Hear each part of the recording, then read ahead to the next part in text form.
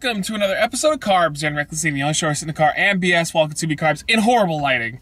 Just horrible lighting. Could not, could not be bothered to move. We are at the Parlor, it's a frozen yogurt place, and I got the Hungry Hungry Hippo, which consists of pretzels, caramel, sea salt, and brownies. Uh, this place, I actually saw like a bargain store on my way. Uh, this, by the way, this is in San Dimas, California.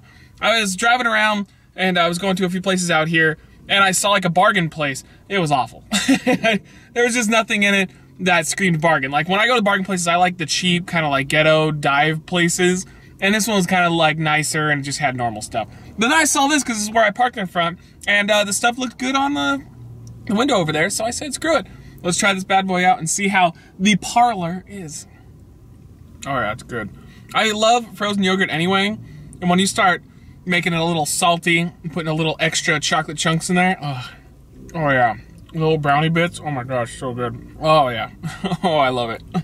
I know that technically speaking, like frozen yogurt like this is not healthier than ice cream, but it makes me feel better about myself than eating just straight ice cream. Oh, it's just delicious.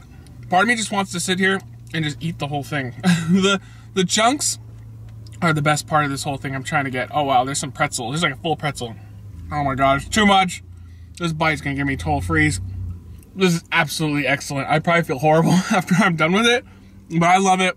I would rate this thing a solid five. Good, good stuff. And sorry for the lighting. Does it make me look more godly if I have the lighting over here? Yeah, either way, just a random find. And I know that some people have been asking me more about to do more like hole in the wall places or, or just mom and pop places, that kind of thing. And that's what we've done here. So at least I think it is. I don't know if this is actually a chain or not, but either way, check it out. It's in San Dimas, California. Matt Zion here saying, Thank you for joining me. What is your favorite type of frozen yogurt ice cream? Let me know in the comments down below, and we'll see you on the next episode, Carbs. Wreckless eating! Wreckless eating.